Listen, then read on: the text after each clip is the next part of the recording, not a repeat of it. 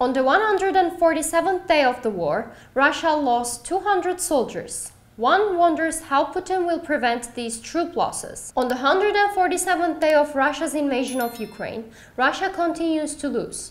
Because of Putin's wrong decisions and failed military operations, Russia continues to lose a lot of soldiers and military equipment.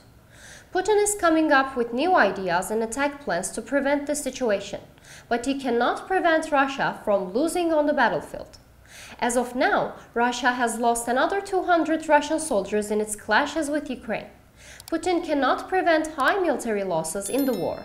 To reach all the actual news fast and reliable worldwide, please don't forget to follow and like us.